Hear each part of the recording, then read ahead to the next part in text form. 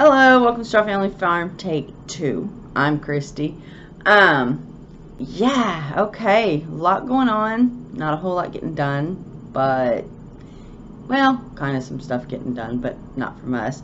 So, right into it in the chapel, Hebrews 13, 18. Pray for us, for we trust we have in good have a good conscience in all things willing to live honestly.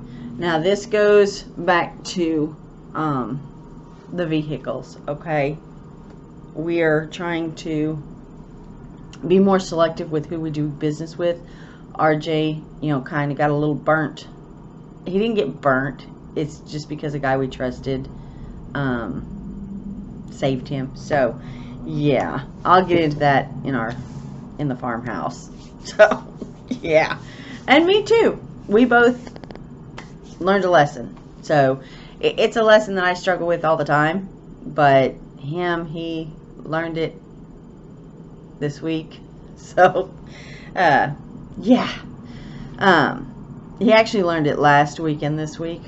But, yeah. Alright, so totally hooked. I don't have anything done. And if you know me, or you've followed us, you know that I am a monogamous uh, project person. And I like to do one, get it done, see the end result. I have so many going on right now because I'm so excited to work with some different stuff that, yeah, I don't have anything done. So, no totally hooked, but um, in the basket, I do have two that I plan on getting done this week. Um, this is the shrug, and I am working on it, and I've gotten quite far. I only have like a ball of yarns falling apart, and I had to rip back like three rows last night. That's why I put it down. Whenever I have to rip back, it's like, mm, yep. If I'm frogging rows, that means I'm screwing it up, and it ain't. I shouldn't be working on it then. So here is the shrug. And as you can see, I've gotten quite far. Um, it's just going to be one of those that you have the armholes here and this goes across your back. It's not anything fancy, but this yarn makes it very glittery. I know you can't see that on camera. We've been through this before, um, but it is really pretty yarn. There you can see some of the glitter in the yarn. Um, but yeah, it's it's pretty good. I think I have to go until I think I measured like 66 inches or 60 some inches. I want it droopy to kind of go over the shoulders and down the arms. So from what where I think I measured it, I think I want not 66. It can't be 66. like 36 maybe. I don't know. Now I'm confused. I don't know how long I have to go. But um yeah, so that one and of course that is one of those um the yarn itself is the shawl in a cake. So there's like 400 and some yards there. And I'm well over halfway done. So that's good. Um, then I couldn't wait to get another one started. Number one, I love this pattern. Number two, I kind of like the poncho that I made. That gray and white one. So this is a Christmas gift and I had five balls of that red and I have two left. And this is that um, Highland wool uh, what was it called? I don't remember. Peruvian. 100% Peruvian Highland wool. And it is I've got just the two skeins like this left to do. I had five of them, and this is as far as I've gotten on it. And I'm actually pretty far. This is two and a half balls in. I'm going to drop my hook here in a minute. You're going to hear it hit the floor. Oh, well. I don't know where it's at. But I've gotten quite far. I do have some uh, ends I need to trim off. They're already woven in. I just haven't trimmed them. Um, so, yeah and it's coming along quite nicely. My ball of yarn has gone on its way. But I've got this much left of this one, which is probably half done. And as it goes, because it gets bigger, keep in mind it's not going to make as many rows. Um, so it's not going to be like three times bigger than this. But yeah, it's getting there and it's beautiful. And it is going to be a poncho, so it'll be folded over like so. Okay. Um, yeah, I'm really happy with the way that one's working up. And I know I have enough to make a good size poncho. Um, make it light and, and big. So, yeah, I've been working on those two pretty steady. I still have the infinity shawl, or infinity scarf. It's just on the back burner, and I've got some other projects planned. I have not started them. I want these two done before I start another one. I don't even know what possessed me to start more than one. Um, I don't know. My body was taken over by a yarny or something. Who knows? I know that there's people out there that have like three or four projects that they do. Um, last night when I was working on the blue one, I, I was wanting to get it done. And once I saw that I made a mistake, I ripped out, went back to the mistake, and then set it aside and started with the other one. So I'm going back and forth between the two. And I have had to rip out on the red one. So um, don't think I don't make mistakes. I just go back and correct them. I know some people will make it work. In the gray and white one, there are a couple of mistakes that I made work. This is something that I want nice that, you know, it's for a Christmas gift. And I want it to be perfect. Yes, I'm one of those. So, but I do go back and I rip out. I don't leave mistakes in there. So, I wish I'd catch the mistakes before I make them. But I get sidetracked and when I put it down, especially the blue one, because it's a simple pattern. It's not anything, I don't know, let me see if I can show you here without tearing anything out. Okay, so the pattern is um, three double crochets and then a V-stitch, which is two double crochets with a chain in between. And then on the next one, there's the three and then these. And then the next row I'll come along and I'll put the V-stitch in the very center of this one and I'll put three crochets in there. So you can see it in the row below. But it's really simple and because I'm using a, a little bit bigger hook it makes it a little drapier and scrunchy and it stretches you know it just gives it a little bit by adjusting the hook size it gives it a little bit more drape so I'm using a little bit bigger hook, making a little bit drapier, um, just because. But with the monotonous of, of doing it, when I put it down, when I look at it again, if I pick up and start with the wrong stitch, and yes, I do that. You know, I'll be tired, I'll be whatever, and I'll start with the wrong stitch, and so it gets it off. And I normally don't find it until the next row up, so I'm always ripping back probably you know, a row and a half, at least a good row or so before I get to the mistake. So, it's just coffee. It's early.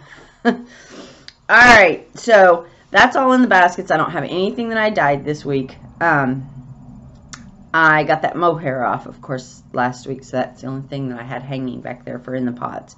Um, on the wheel. Now that. Okay, I started with, y'all saw that I got like two pounds of each of those wools. And I'm not going to go over them again. I am going to say that when I start, I took the whole two pounds and I divided it up into four pound or four ounce balls. Reason being is I can safely do about four ounces.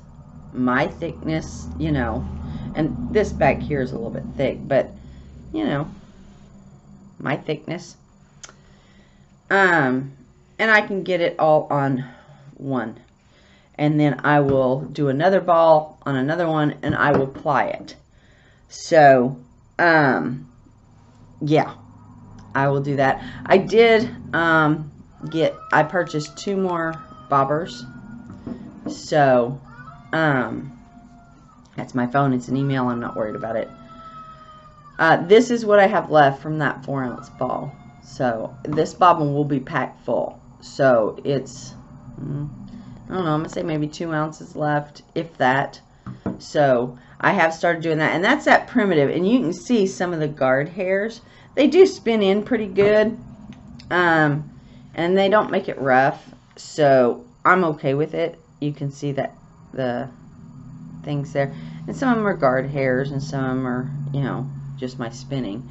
But once I get it plied um, and dyed, yes, I'm going to dye this, uh, then I will show you the finished product because it will be totally different. Some of those guard hairs will wash away and some of them, and if they're in the twist, they'll stay. But, I mean, it's not scratchy, you know. I mean, it's not my neck soft, but, and remember, that's like my most sensitive spot is my neck. So, no, this, ugh, can't handle it. But this, oh my gosh, even on my arms, it's super soft.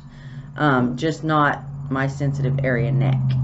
So, which is funny because somebody said something about my long hair, and I was like, yeah, it's just me too.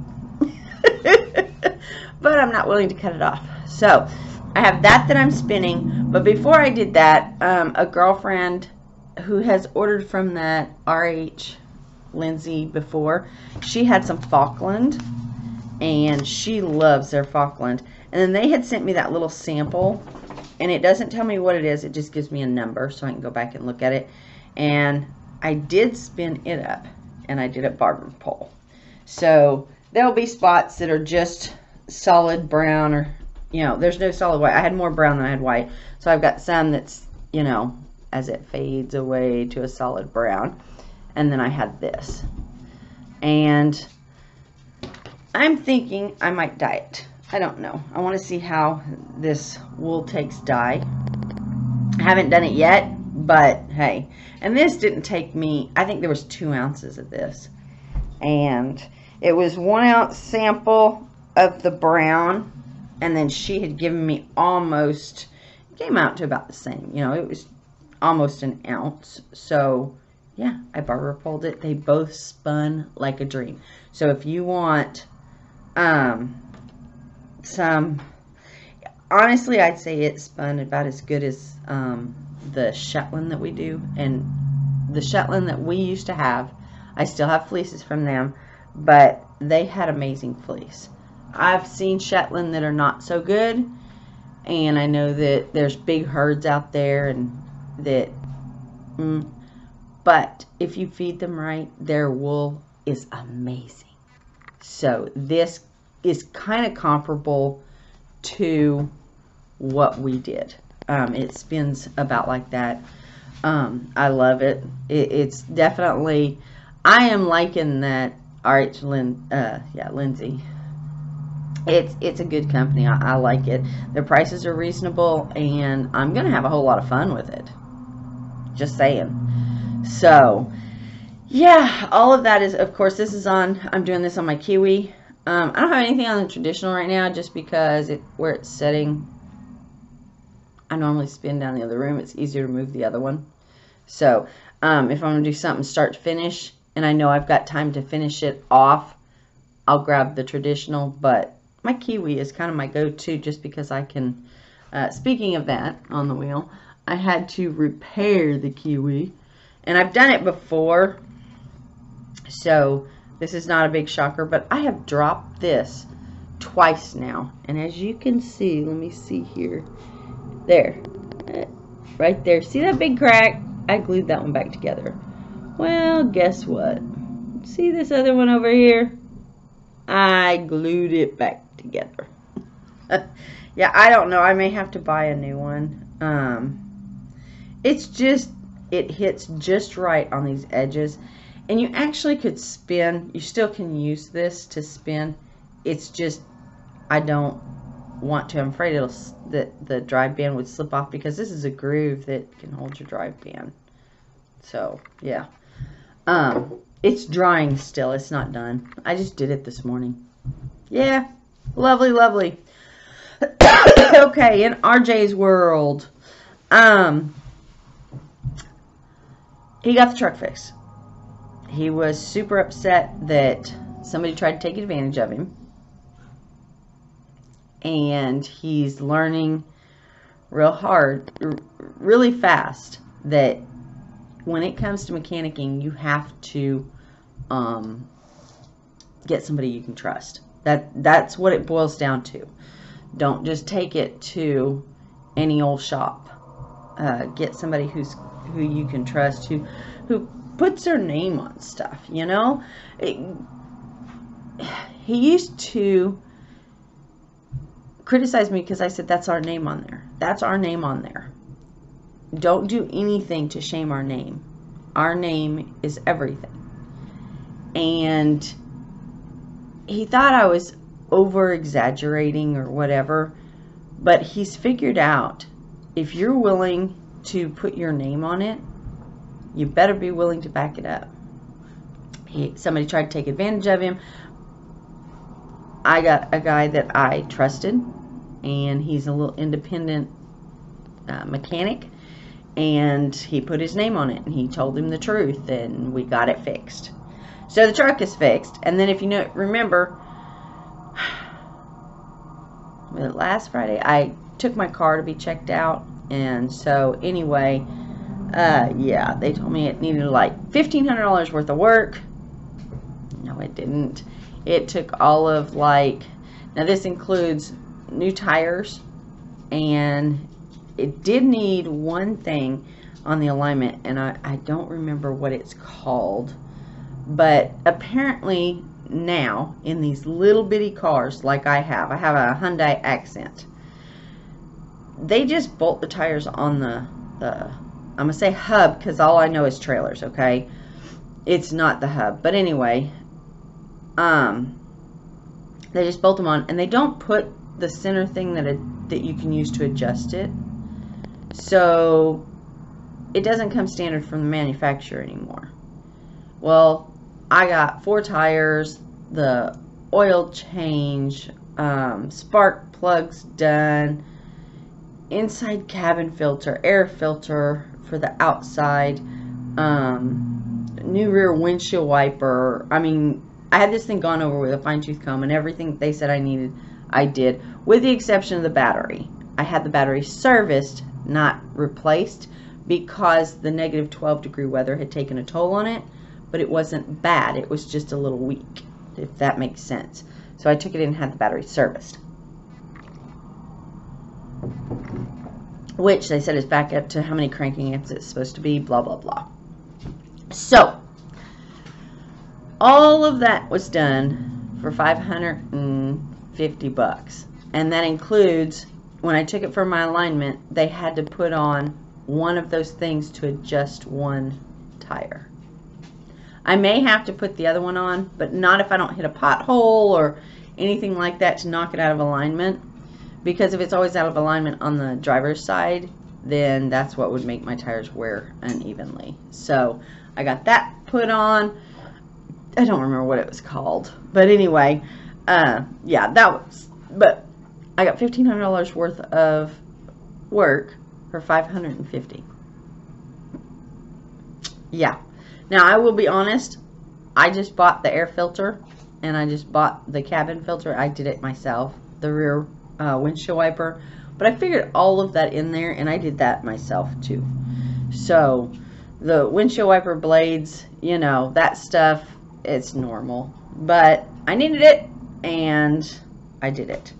So, yeah, just vehicles. RJ is back to, now that he's got a vehicle, um, I know he went, can't remember what night it was, but yesterday he went, and all of his headers missed in the short round, so it wasn't very good. But, I mean, he roped amazingly, but when he got a chance. When you're a heeler, if your header doesn't catch, you don't even get a chance to throw your rope. Yep. So he's team roping, he's calf roping. He's got an amazing picture of Star that I got um, team roping. So, and I don't have it here. He's got it at the house. I'm going today to frame it. So maybe I'll pop a picture of it. So, yeah, I'm going to go to the farm today. I'll be there doing grow tower stuff. The grow tower is going to come to this house because RJ doesn't do gardening. Okay, so the grow tower is going to come here. And we will have some in the gardens here. So, um, what else? I think that's it except for in the farmhouse. In the farmhouse, I kind of just got a wild hair. And this week I made uh, lip balms. And I have one right here. That's why I made lip balms. I made some lotion bars, but I can't remember if that was last week or not. And then I made some soaps. And no more than I made them than I had inquiries on purchasing them.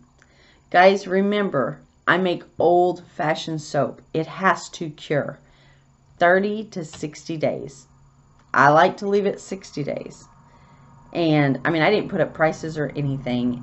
And, you know, they're like, we need your lip balm. And what kind of soap is that? And I'm like, uh, okay, the soap is not going to be ready until this is the 1st of March. It's not going to be ready until the 1st of May. So, guys, I know, and I'm going to go back and make some more, um, and put it out there. But you got to give me time. Okay? Uh, it just, it's one of those things that I like doing it. I have fun doing it. But it has to cure. So, um, yeah and I have to have time to do it so I try to take one day either um, the way I work I work Tuesday Wednesday and Thursday. That block. Like I sleep at work. I don't come home. I don't you know. So Tuesday Wednesday Thursday I'm gone. Then I have off Thursday Friday or not Thursday Friday Saturday Sunday and Monday. Um my Fridays have been taken up with my car here lately. My car is done now. It drives like a dream. Um, a friend of mine told me, yep, now you got a 2020 model, you know, because everything has been serviced on it. So, uh, like I said, and it never gave me any trouble. This was all over um, one check engine light coming on, and then it had an oxygen intake issue. I ran some uh, catalytic converter cleaner through it and it was fine but I wanted to have it checked out because of who I transport and what I transport you know that's the other phone um, so because of who I transport and what I transport um, I work with mentally challenged and I'm not going to be on the side of the road with somebody who doesn't understand that the car's broke down so I do take care of the cars. You guys know that we've always taken care of the truck. One problem, that's it. It goes to the mechanic. So, um, yeah, I do do that. Um, it is what it is.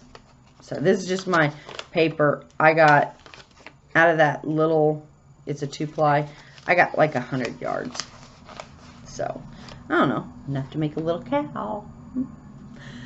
Um, anyway, so I have to find time to do everything. My car was, and the truck are super important. Um, so yeah, uh, we did find out that the brakes on the truck are leaking at the caliper. Just a little slight leak. RJ says all he needs is to get an impact and change it out and he said it's not a big deal. He just has to find the time to do it. Right now, he's making sure all the brake, fluid he carries extra with him right now. So, and it's not leaking badly. It's just a drip, drip, you know. So, yep, he's gonna get that done, and then everything is up and running, and I might have more time. Now, that being said, I had to work again this weekend. so, yeah, I've been on, what I do, an extra 36 hours? So, and I normally do 49 a week. Yeah, so it is what it is. And I've been working on the weekends and it just, uh, um, the last month and a half, I have been working Tuesday, Wednesday, Thursday. I'd have Thursday night at home, leave Friday night, and work over till Saturday morning. Then I'd have Saturday night, I'd go in and work over till Sunday morning. Then I'd have Monday off, and that's it. Then I'd start all over the next day. So I have been doing that, literally coming home long enough to do laundry, catch up on some sleep, and uh, that's about it. You know, and I've been taking my crochet everywhere with me. And then I would consider Friday off because I only I go in at night. So I had Friday during the day to get some stuff done, but not as much as you'd think because you just have so much just to get caught up on laundry. So, you know, laundry and the beds and the dishes and you know, I'm not home much, but roommate is. And roommate also has a job and it's a seven in the morning to 3.30 at night you know? So yeah. It, it's just and i will tell you roommate's mom's car was also in the shop. We were all laughing. It's like vehicles everywhere. None of them quit running. Um, none of them broke down on the side of the road or anything it was all just lights coming on and have to be serviced and that kind of stuff so yeah it is what it is. So, it's life, it happens. But I think, oh, and yes, it's early in the morning. I've got to go. It is Monday, and so I've got to go and get stuff done. And I've got laundry going right now. no surprise there. I did have to work this weekend, so I haven't been, you know, home. Uh, but yeah, I've actually been sleeping more nights at work than I have at home. So uh, today I plan on going and I'm getting a haircut. Yay! Me! I haven't had time for that either and it shows. Um, so I'm going to get my hair cut and go to the farm and pick up my grow tower and my gardening stuff and maybe get some plants started. So, uh, yeah, we'll see. Um, I know I'm going to do herbs in the tower. I don't know. I think I'm going to try and do cantaloupe in the bottom. You know how I let it vine out. I think I'm going to do cantaloupe. I'm going to do herbs. I don't know what I'm going to do on top. I think I'm going to put my peppers and tomatoes and okra. The roommate has asked to do okra too. And I was like, mm, okay, I don't need okra. I didn't grow up with it. I'm not a fan of it. Um, yeah, in Germany we didn't have okra. I don't know. It just doesn't grow over there very well. I think it thrives on the Oklahoma heat. Oh my God. So yeah. Um, but bell peppers, tomatoes, okra, and of course then I'm gonna do like herbs and stuff in the. We're not doing any lettuce or cabbage. It's not gonna be a huge garden. It's just gonna be maybe four or five plants of each, if that. I I say four because they come in normally four packs. So I'm going to get my bell peppers, tomatoes, and okra already started. I'm not going to do it, you know. I hope I can get okra already started. I don't know. Might be from seed. So, yeah, we'll see. we will see. Um, but I am going to get that going so that we can compost, compost down the center of that, if you remember. And I'll do a video, just kind of a catch-up video on the grow tower. I think there's one on YouTube, but you know, we've been at this so long, I don't know that it is.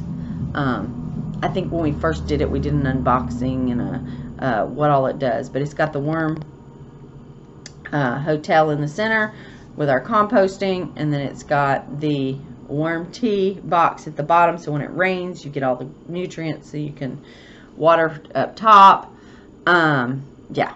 So it it's a cool little tower, but I think I'm going to stick my herbs in there and then and I'm just going to do a ring of each. I've got my blueprint for it and I'm going to bring it to the house, review it and see what all we're going to get done. So yeah, that's the plan for today. Hopefully nothing goes wrong. Um, last Friday, servicing my car. So the last thing that I had to do on Friday was get the tires on the car and get the alignment. I had an 8.30 appointment. I get to the tire shop. I had called, made sure they'd ordered and all this stuff. Um, before. So Friday was supposed to come. I was supposed to have my tires just popped on, take it, you know, for an alignment. They said the earlier you get here, the better, because that's, you know, our slow time. I get there at 8.30 for my appointment, and they had gotten the wrong tires, and nobody had checked them. So they had to call and get it redone, and then the tires weren't going to be there till 1. So one o'clock I call and they're like, yeah, we're super busy. The guy that I had dealt with, I, I dealt with the owner. Okay. And he had told me at one o'clock, just call, make sure they're here and then come on down. I called and the little girl told me, well, we don't have time to do it today. And I said, no, you will get those tires on my car today or you won't have my business. I said, it was an 8.30 appointment. You guys screwed it up, not me she says, well, maybe 3, 3.30. At a quarter to 3, I drove down there. Well, lo and behold, the owner was back. And I lit him up and I said, this is not how you do business. You know, you told me that at 1 o'clock if they were here, you'd put them on because you messed up my appointment. And I said, I have that alignment to get done. So anyway, about 320, my tires were on my car. because I was, oh, I was so mad. Um, and I took it to get the alignment and found out I had to have that little thing. And after that, it was done. So, yeah. But it did take me all day because at 8.30, I went and did the shopping that I had to do after that. And then I got all the shopping unloaded and then I went to go back and they were like, no, don't come now. Hello. so, yeah so it was just kind of being put off all day long. And if they'd have gotten right on it, it wouldn't have taken me so long. I have fuzzies on my arm. I see them. Well, fuzzies. Good fuzzies. So, all right. I'm going to get off of here. And hopefully, maybe I'll play in the dye pots. I don't know. I've got to get, I want to have two spools, two four ounce balls done before I do I want to make a match. So I know that'll give me enough yardage so that I can do an actual project with it. Who knows? I don't know what I'm going to make with it, but I do know I'm going to make something. So, all right, I'm off here. I will see you guys next time, and thanks for watching.